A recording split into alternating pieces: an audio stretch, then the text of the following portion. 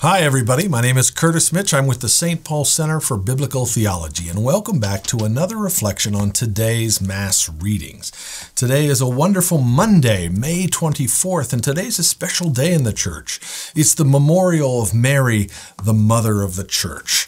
And not surprisingly, our gospel features today Mary being made the mother of the church by Jesus on the cross. That gospel comes to us from the Gospel of John, chapter 19, verses 25 to 34. Now, today's gospel essentially brings us to the foot of the cross, where Jesus is experiencing the last hours and minutes of his earthly life. Jesus is dying, but we see that Jesus is not dying alone. He's surrounded by enemies on the one hand, but he's also surrounded by family and friends and some of his followers on the other. And in today's reading, there are really three momentous events that take place in this very short span of time, these last minutes of Jesus' life. The first thing is that Jesus entrusts his mother to the Apostle John, and that's really what we're going to focus on. Jesus, after that, accepts an offering of sour wine, and after which he, he assumes that his ministry is now complete. He says, It is finished once he takes that final sip of wine. And then, thirdly, Jesus is pierced by a lance. And John, who was standing at the foot of the cross, remembers that both blood and water came pouring out of the Lord's side. Now, because of our time constraints here, we're just going to focus in on those words that Jesus speaks to Mary and the Apostle John, to his mother, what he does to, to ensure her care for the future. So let's read the passage and let's try to get into some of what's going on here. This is John chapter 19, beginning in verse 25. Standing by the cross of Jesus were his mother, and his mother's sister, Mary the wife of Clopas, and Mary Magdalene. When Jesus saw his mother and the disciple whom he loved standing near, he said to his mother, Woman, behold your son. And when he said to the disciple, Behold your, your mother, and from that hour the disciple took her into his own home. After this, Jesus, knowing that all was now finished, said to fulfill the scripture, I thirst. A bowl full of sour wine stood there, so they put a sponge full of the sour wine on hyssop and held it to his mouth. When Jesus had received the sour wine, he said, It is finished. And he bowed his head and gave up his spirit. Since it was the day of preparation, in order to prevent the bodies from remaining on the cross, on the Sabbath, for that Sabbath was a high day. The Jews asked Pilate that their legs might be broken, and that they might be taken away. So the soldiers came and broke the legs of the first and then of the other who had been crucified with him. But when they came to Jesus and saw that he was already dead, they did not break his legs. But one of the soldiers pierced his side with a spear, and at once there came out blood and water. All right. So, what is going on in today's gospel? Well, you will often find and hear, with respect to the Gospel of John, that there's often a surface meaning to the Gospel passage, like a basic meaning that pretty much comes, comes easily to anyone who's reading it. It's sort of very close to the surface. But then there's something else. There's often something below the surface. There's often a deeper meaning. So, what we're going to do here is try to see what's being said here on the surface, and then let's try to tunnel down into some of that deeper meaning. All right, so first, what's going on on the surface? What's the basic meaning? Jesus is hanging on the cross, he's gasping for breath, he's nearing death, and he is surrounded by a number of people. There are more than eight people there, but John in his gospel focuses on eight, right? He focuses on there are four soldiers at the foot of the cross, there are three women at the foot of the cross, and there's one apostle. Now we know from the Gospels of Matthew, Mark, and Luke that there are actually more people than this, right? This is just a, a little telescopic view of some of those who are there. And of course, conspicuous by their absence is the fact that the other 10 apostles have already abandoned Jesus. They're not here. John and John alone has followed the Via Dolorosa all the way to its bitter end. He has followed, he has followed his master all the way to the cross. But of these eight people who are at the foot of the cross, Jesus only speaks to two of them, two of them directly. He speaks to his mother, whom he addresses as woman, and he speaks to John the apostle, whom he calls the beloved disciple. And it's interesting because in God's uh, in John's gospel, neither Mary nor John are ever named Mary or John. They're simply referred to, Jesus addresses his mother as woman. We'll see why that's significant.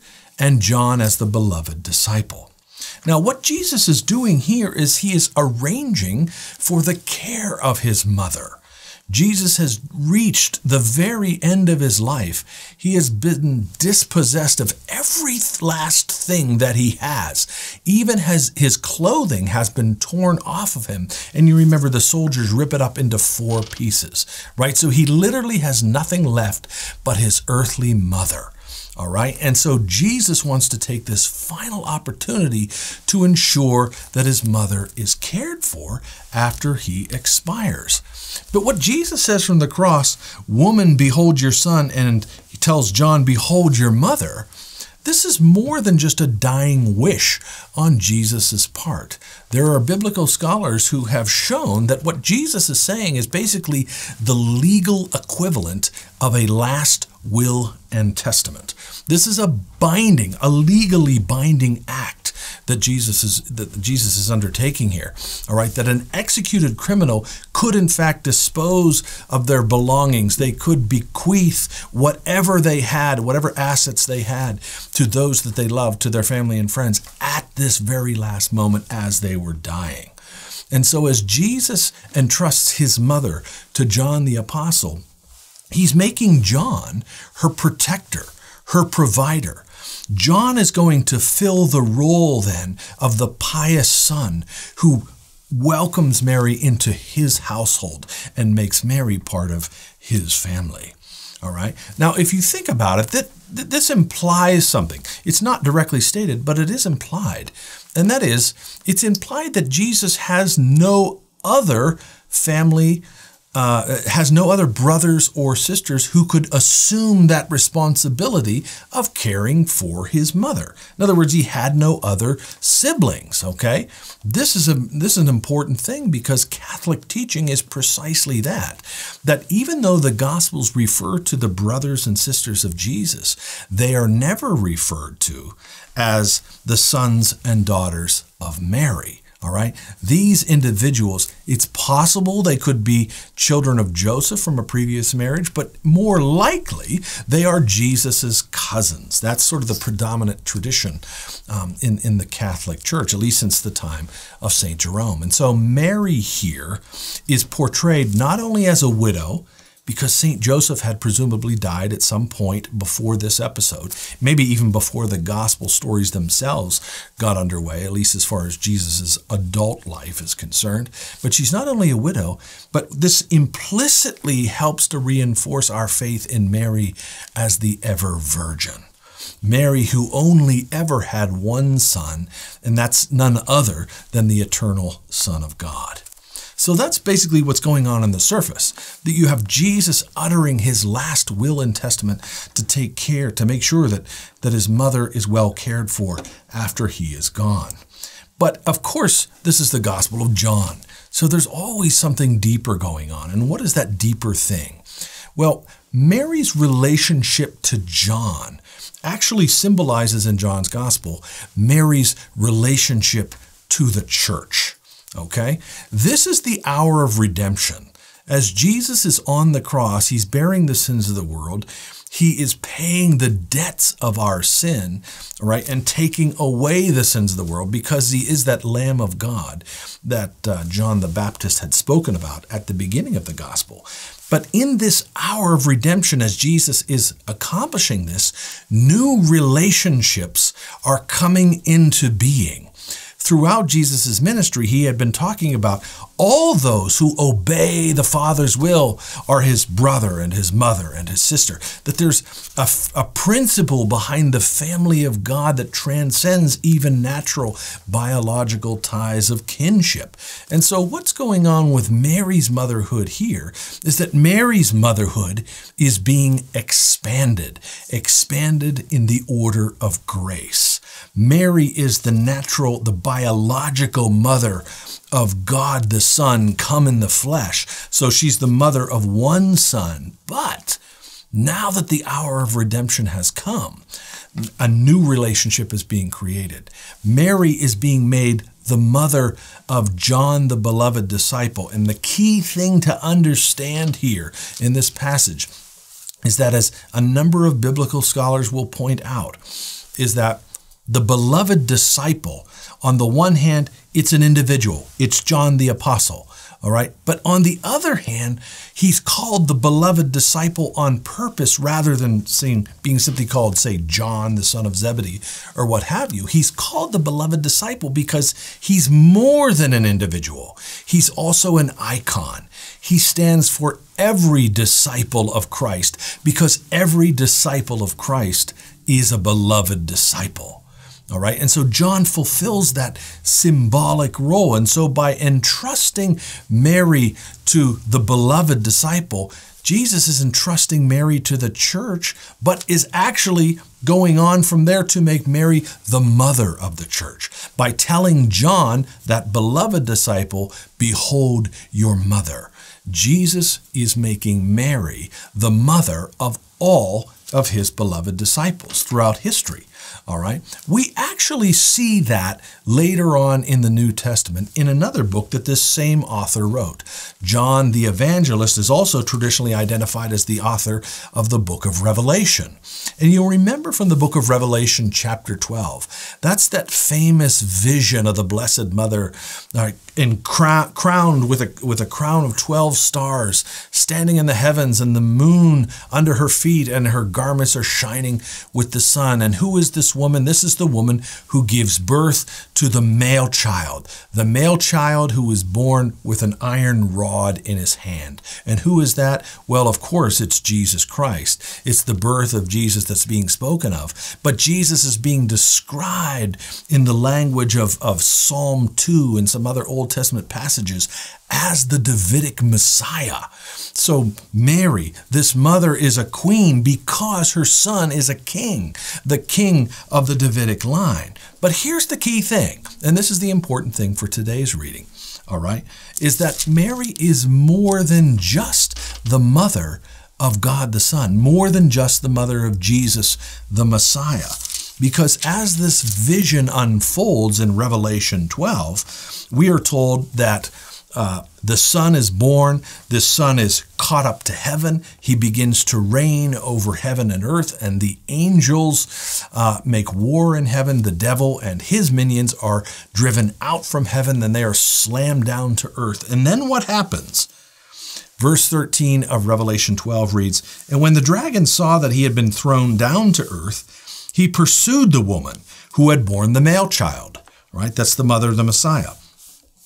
But the woman was given the two wings of the great eagle, that she might fly from the serpent into the wilderness, to the place where she is to be nourished for a time and times and half a time.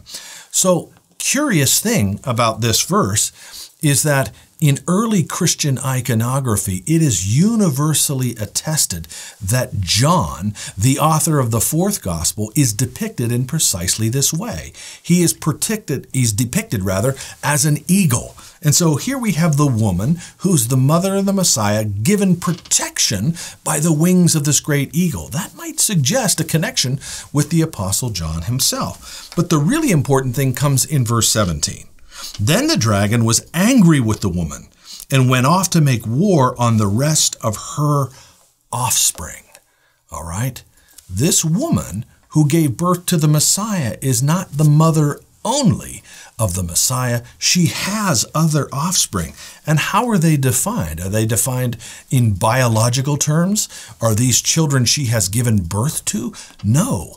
These children are defined in spiritual terms. The rest of her offspring are defined as those who keep the commandments of God and bear testimony to Jesus. In other words, this woman, who is the mother of the Messiah, is also the mother of all the Christian faithful. All right. The entire church, the family of all of Jesus' beloved disciples, have Mary, his mother, as their mother in the order of grace. And so when we, we hear the words of Jesus today from the cross, and he is saying, Behold your mother to the Apostle John, he's also, remember, speaking to me and you because we are beloved disciples of Jesus as well. And Jesus is inviting us to take Mary into our own homes, right? He is, in fact, he's even entrusting us to Mary's care by making her our mother. All right. And so there's something profoundly relevant about what is going on here, these last moments of Jesus on the cross. There's a basic meaning, there's a surface meaning. Yes, he is ensuring her care going forward. But there's so much more than that in the Gospel of John, and there's more than that in this particular passage. Jesus is giving his mother to be the mother of the church, of all the faithful, of her offspring, those who keep the commandments of God and bear testimony to Jesus. Well, thanks for tuning in today. I pray that God blesses you, your family, and your day, and I look forward to seeing you here again next time. Thanks.